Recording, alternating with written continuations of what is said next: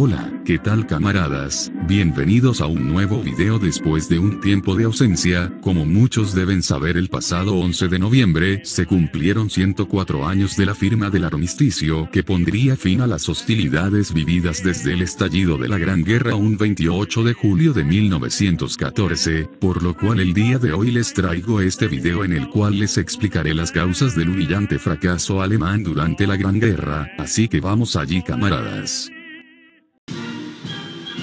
El ejército imperial alemán había sido un símbolo de gran musculatura industrial y poderío militar moderno, siendo uno de los ejércitos más fuertes de la época, llegando a ser comparado con el ejército imperial británico, a pesar de esto, el ejército imperial alemán no contaba con la adecuada experiencia para pelear en una guerra a esta escala, algo que se repetía con el resto de potencias, pues no se vivía una guerra a gran escala desde casi un siglo sobre el continente europeo desde la derrota del imperio francés napoleónico en 1815, o en el caso de los alemanes desde 1871 tras la guerra franco-prusiana durante el proceso de unificación alemana, durante casi medio siglo los alemanes solo se habían involucrado en lejanas guerras coloniales, la falta de experiencia con la que se adentraban a un tipo de guerra jamás antes vista, provocaría dificultades de coordinación, y como, ya conocemos una enorme carnicería que les afectaría gravemente con el transcurso del tiempo.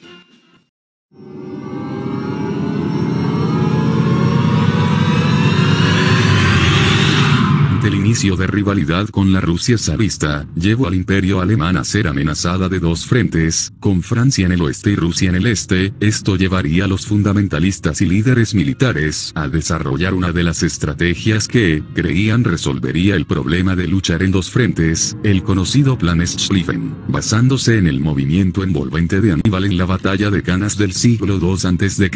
abogaba por una victoria a tiempo récord, planteando el flanqueamiento de las defensas francesas a través de Bélgica para acceder al norte de Francia, que era el área más vulnerable de estos, y así poder atrapar el ejército francés en el este sometiendo a Francia, con esto podrían dirigir todas sus tropas rápido hacia el frente oriental y dar un golpe de gracia a Rusia. Sin embargo, no se habría tomado en cuenta el peligro político en cuestiones internacionales que representaba el invadir países ajenos al conflicto y peor aún no neutro como lo era Bélgica, algo que se vio plasmado en la entrada del Imperio Británico y el posicionamiento de postura de los Estados Unidos a favor de los aliados de la Entente que, en un futuro orillaría a Alemania y sus aliados a una guerra contra el mundo. Sin embargo la idea de una victoria en pocas semanas seduciría a los altos cargos alemanes, quienes a pesar de los riesgos darían luz verde al plan, y como era previsto el imperio británico se involucraría en la contienda en cuanto se iniciaron las agresiones en contra de Bélgica.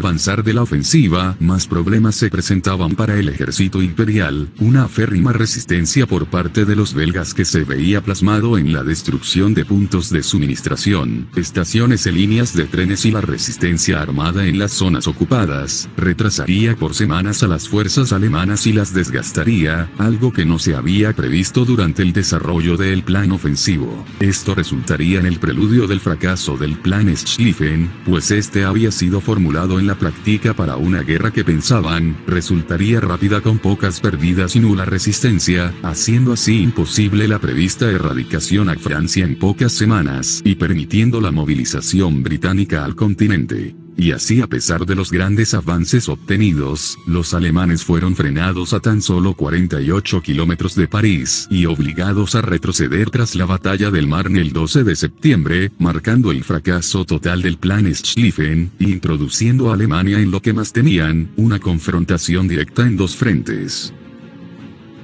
Tras la derrota vivida en el Marne, los alemanes se posicionarían en el río Eisne mientras completaban la conquista de Bélgica durante la carrera hacia el mar, fue en Flandes donde comenzaría un infierno para todos aquellos que pelearon en esta guerra, las tropas alemanas estaban cansadas y no estaban en condiciones para volver a atacar por lo cual como parte de la modificación del plan de guerra por parte de Helmut von Moltke, se ordenaría excavar y defender sus conquistas, mientras terminaban con la amenaza rusa, lo cual creían que sería en poco tiempo.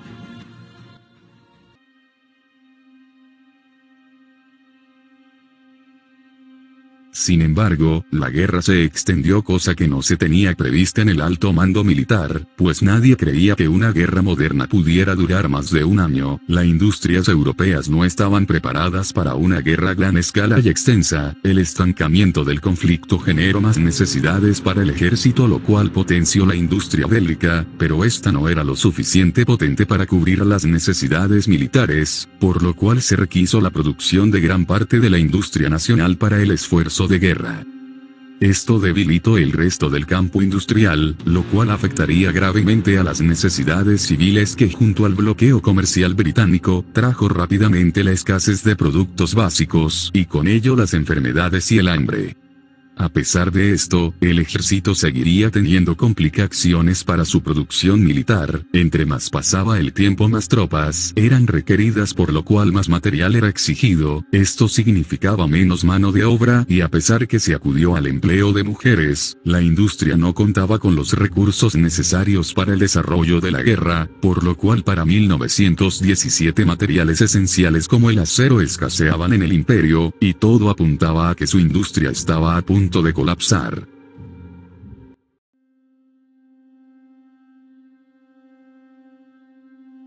Con el avanzar de la guerra la situación no era más favorable para los alemanes, pues la creciente hambruna arrasaba con el país, el embargo comercial era insoportable para el alto mando militar, pues parecía que esto los dirigiría al colapso total por lo cual, en 1917 bajo autorización del comandante supremo Paul von Hindenburg, se desarrolló la famosa guerra submarina sin restricciones, lo cual daría luz verde a los submarinos germanos, para atacar sin previo aviso a todos los barcos en enemigos y neutrales, y estableció una zona de guerra que rodeaba a las islas británicas. La hostilidad entre alemanes y estadounidenses se venía dando desde mayo 1915, cuando un torpedero alemán hundió al transatlántico británico RNS Lusitania, cobrando la vida de 1.195 pasajeros entre ellos estadounidenses, a causa de un supuesto cargamento de municiones como ayuda estadounidense a los británicos. Tras este incidente Alemania se habría comprometido a detener este tipo de agresiones. Ahora en 1917 los alemanes reanudaban sus ataques y con mayor intensidad. Así los Estados Unidos marcados por la política aislacionista de Woodrow Wilson, parecían generar la excusa perfecta para adentrarse al conflicto. Ante la creciente amenaza que representaba la entrada de los Estados Unidos al conflicto europeo, los alemanes necesitaban mantener a los americanos fuera del conflicto o por lo menos del escenario europeo, por lo cual el ministro de Asuntos Exteriores alemán de la época, Arthur Zimmermann, desarrollaría un plan que consideraba como una maniobra esencial para que en el caso de una entrada norteamericana al conflicto, evitar que estos pudieran involucrarse en el frente europeo, el conocido telegrama Zimmermann.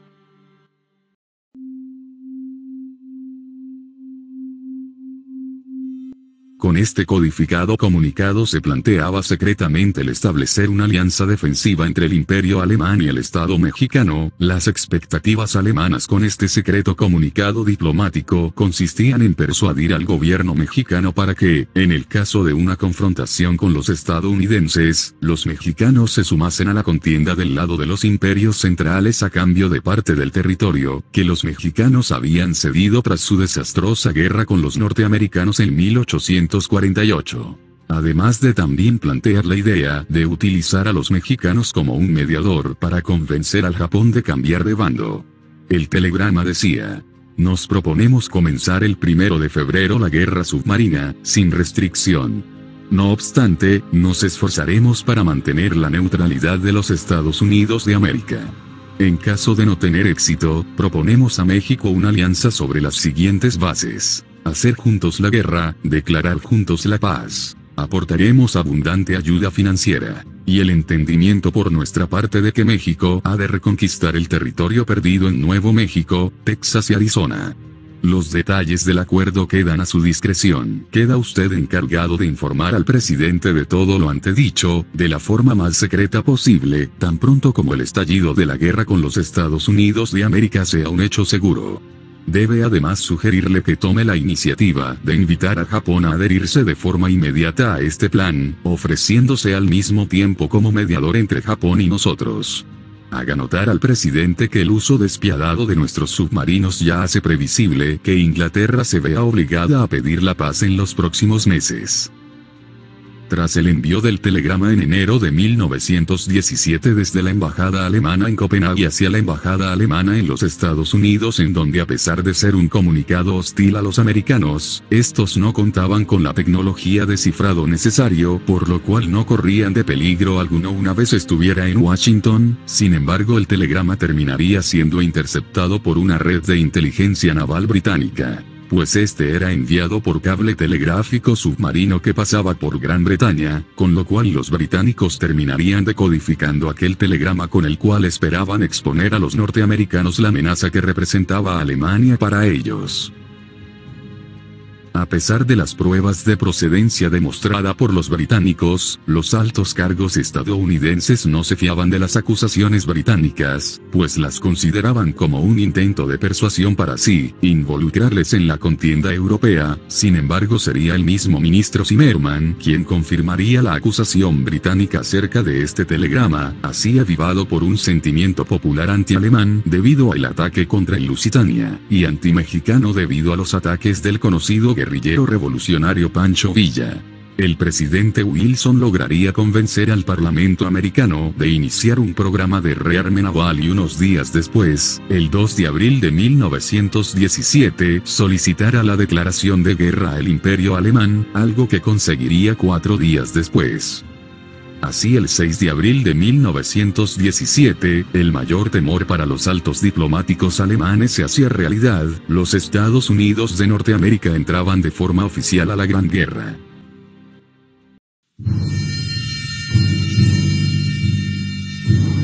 Una de las más grandes desventajas de los alemanes sería su elección de aliados. El desgastado imperio tenía problemas en la coordinación de ataques con sus aliados austrohúngaros y otomanos. Los aliados alemanes servían poco más de distracción o una forma de desvío de recursos por parte de los aliados del Entente. Ante la desesperación alemana de falta de apoyo en el continente, la necesidad de aliados en otros sectores era más que lo primordial, sin embargo el planteamiento de una alianza germano-mexicana era, más que una mala elección para la contienda, a pesar de funcionar como una distracción para los norteamericanos y una posible respuesta a la entrada de los mismos los alemanes, no tenían un claro conocimiento del panorama vivido en el Estado mexicano. El país se encontraba en medio de un caos político que se vivía desde la caída del dictador mexicano José de la Cruz Porfirio Díaz Mori en 1911, tras lo cual las disputas de poder presidencial continuaban y las divisiones en el ejército por motivos ideológicos eran más que presentes, por lo cual en el caso de una adhesión mexicana a favor de los imperios centrales, el desastre militar que hubiera resultado para los mexicanos sería de poca utilidad para Alemania. A pesar de las grandes advertencias de especialistas y diplomáticos alemanes, el mando militar se tomó a la ligera la entrada estadounidense a la guerra, subestimaban la capacidad militar e industrial de los norteamericanos, se pensaba que los americanos no podrían siquiera movilizarse al continente, gracias al bloqueo naval incrementado gracias a la guerra submarina irrestricta que les permitía atacar con brutalidad a cada navío con el que se cruzasen. Sin embargo, gracias a la estrategia de escolta y la implementación de unidades de cargas de profundidad, se logró mantener a los submarinos alemanes lejos de poder atacar a sus objetivos, así los norteamericanos terminaban con la amenaza que representaba el muro de contención marítimo que les aseguraría el traslado rápido y seguro de sus tropas a Europa, que comenzarían a desembarcar en junio de ese mismo año. Los norteamericanos a pesar de haber mantenido una política aislacionista y neutral, estos se habían beneficiado de esta misma política. Pues la guerra les había permitido superar económica, comercial e industrialmente a los grandes imperios europeos algo que no estaba previsto para el mando alemán, aún así los alemanes aún tenían una ventaja determinante que, tomarían mucho en cuenta para su siguiente jugada.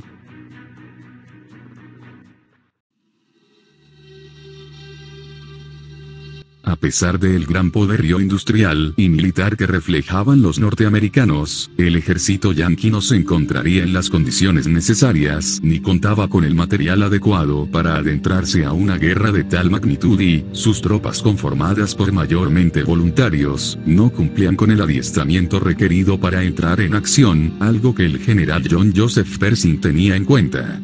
Por lo cual, en cuanto llegaron las exigencias de los aliados de la Entente para un inmediato despliegue de tropas en el frente, el general Pershing se rehusaría vehementemente, algo que causaría gran división entre el mando norteamericano y el franco-británico, debido a que los estadounidenses exigían un plazo de un año para poder prepararse como era debidamente, algo que los aliados franceses no podían permitir, causando aún más división entre los aliados. Los alemanes sabían del retraso en la preparación de los estadounidenses, y sabían que no había mejor momento para aprovechar aquella situación, sin embargo aún contaban con un inconveniente que debía ser eliminado para seguir con sus planes.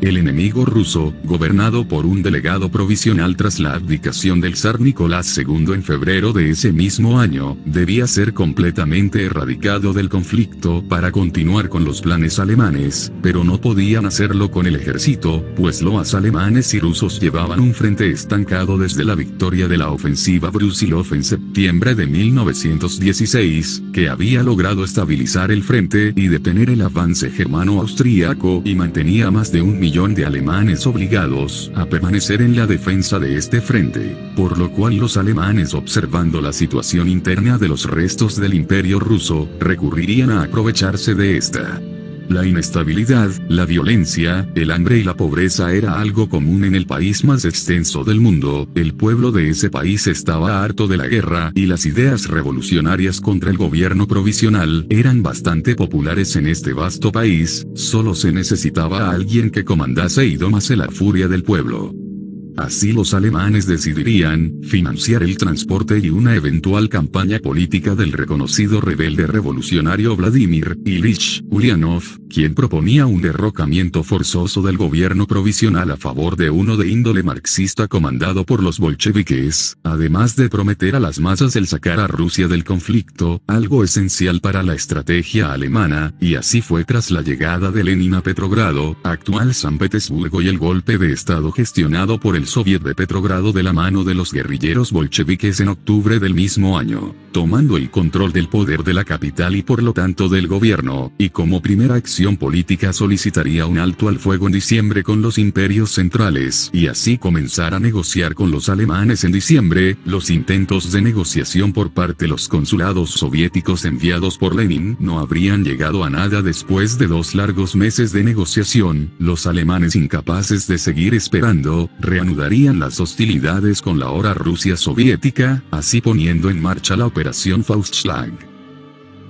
La reanudación de los ataques alemanes sumado a la creciente amenaza de un levantamiento antirrevolucionario, infringiría la suficiente presión política sobre el gobierno comunista en Petrogrado que mediante un telegrama directo al mando militar alemán, aceptaría cada una de las exigencias de paz que las potencias centrales habrían impuesto para el Tratado de Brest-Litovsk. Alemania había terminado con la amenaza que representaba Rusia en el este y finalmente cumpliendo el sueño de conseguir centrarse en un solo frente que planteaba el fallido Plan Schlieffen, pudiendo movilizar a más de 800.000 hombres al horroroso frente occidental, así la batalla por la victoria total se estaba formulando. Para marzo de 1918, los imperios centrales ya se habían deshecho de los peligros que representaba pelear en dos frentes, la derrota de Serbia y Rumania y la retirada de Rusia gracias al Tratado de Brest-Litovsk, le permitiría al ejército alemán movilizarse al estancado frente occidental, la guerra parecía tornarse de nuevo a favor de Alemania, pues la situación de los ejércitos de la Entente no era la mejor, Francia se encontraría sumergida en grandes motines militares, los británicos seguían realizando sangrientas ofensivas y parecían estar desgastándose. Y sobre todo los estadounidenses se negaban a entrar en acción debido a lo poco preparados que se encontraban y el hecho de que sus tropas no habían llegado aún en su totalidad, además que los aliados se encontraban divididos en cuanto a la toma de decisiones para el mando, algo a lo que el general Ludendorff no podía resistirse a aprovechar, pues la situación no era más que perfecta para una eventual gran ofensiva, los alemanes no tenían la capacidad de resistir otro sangriento año a la defensiva como el de 1917, por lo cual estarían más que decididos a tomar la victoria con lo que ellos llamaban la ofensiva por la paz.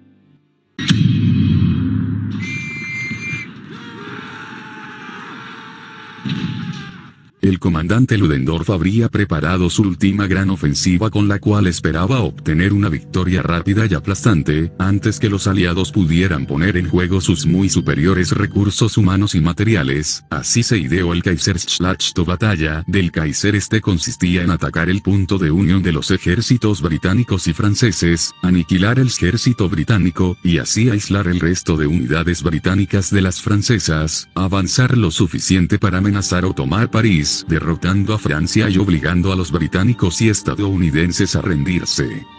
El plan parecía imposible de fracasar por lo cual después de días de planeación, los alemanes iniciaban sus ataques abriendo fuego con más de 10.000 piezas de cañones y morteros contra las líneas enemigas el 21 de marzo de 1918, tras los intensos bombardeos los alemanes atacaron las líneas inglesas entre Cambrai y Saint-Quentin, utilizando el factor sorpresa y empleando la estrategia de infiltración desarrollada por el joven Erwin Rommel, obligando a los ejércitos ingleses a retirarse de todo el frente en ataques sorpresivos y en distintos puntos del frente.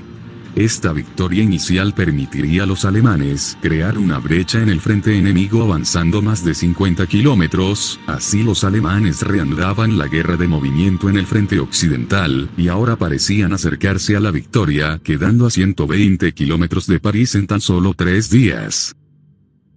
Sin embargo el reforzamiento del resto de objetivos de los alemanes parecían repetir la misma situación vivida en 1914, los retrasos que se presentaban en lo que parecía un frente desprotegido, arruinaría los planes alemanes para un avance rápido a través del Somme, así la toma de Arras y Amiens se volverían imposibles para el ejército alemán sumado al hecho de que las tropas alemanas se encontraban agotadas y mal preparadas para seguir peleando.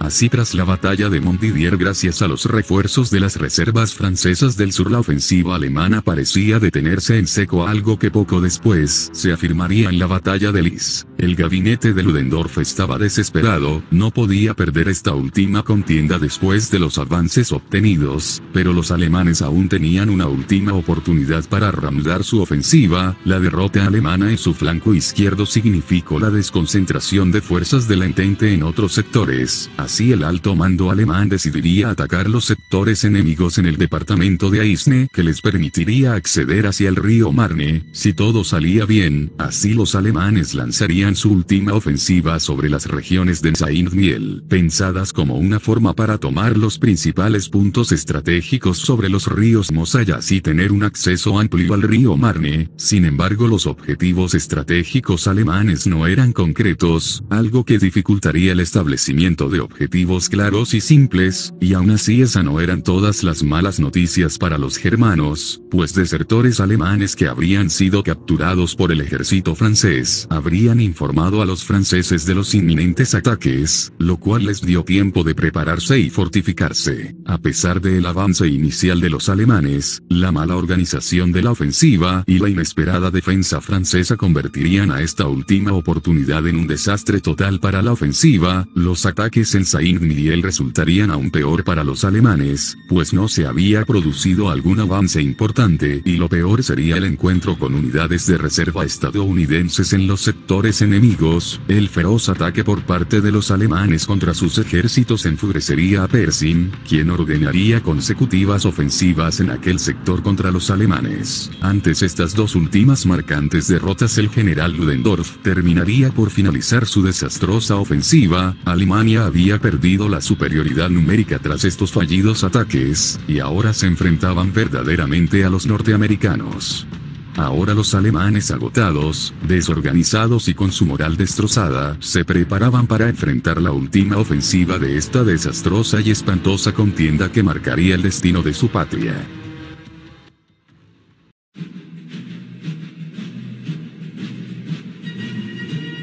Ante el rotundo fracaso de la ofensiva de verano del ya moribundo imperio alemán, los aliados de la Entente no podían desaprovechar esta oportunidad por lo cual apoyado en su totalidad por los estadounidenses el general Foch ordenaría la retoma de las ofensivas hacia el norte, sabían que los alemanes se encontraban en retirada y no podían sostener más sus posiciones, así se daría inicio a la última gran ofensiva de la guerra, la ofensiva de los 100 días la cual fue lanzada en los sectores de Marne y Somme, resultando en victorias rotundas para el bando de la Entente. A pesar de los grandes esfuerzos de los generales alemanes para sostener sus posiciones, sus soldados ya no podían sostener la batalla mucho más, el imperio alemán estaba colapsando al igual que sus aliados austrohúngaros, búlgaros y otomanos quienes comenzaban a sufrir grandes derrotas en Oriente Medio,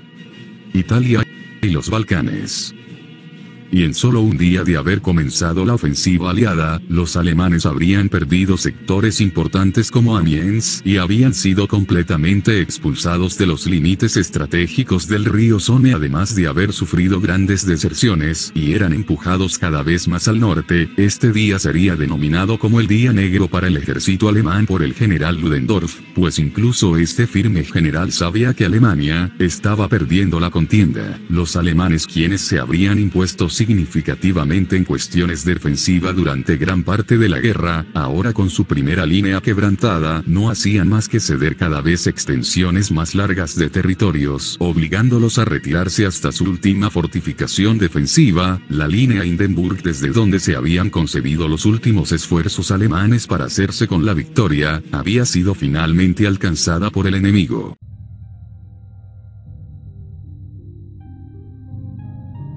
Alemania estaba corta de hombres, y no podía sostener más el conflicto, algo de lo que estaba consciente el Kaiser Guillermo II y sus generales. Este intentaría buscar una forma de negociar con el bando aliado pero después de haberse negado a negociar en buenas oportunidades, para concluir una guerra sin ganador en un punto no tan crítico para su imperio, los aliados no estaban dispuestos a negociar ante los avances adquiridos, que los aproximaban a una clara victoria.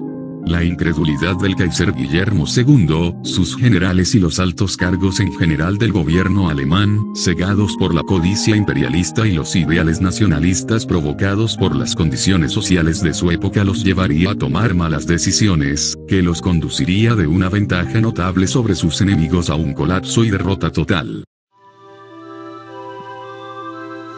Así tan solo 10 días después de comenzar los ataques sobre la línea Hindenburg su última línea fortificada sería finalmente tomada un 8 de octubre por los aliados británicos y franceses, el ejército alemán no daba para más, y ante un rápido y constante retroceso sobre el territorio conquistado en Bélgica y Francia, estos exigían la búsqueda de una paz inmediata, viéndose plasmada en el levantamiento marinero de Kiel, el Kaiser Guillermo II había sido abandonado por su más grande fuerza, el ejército.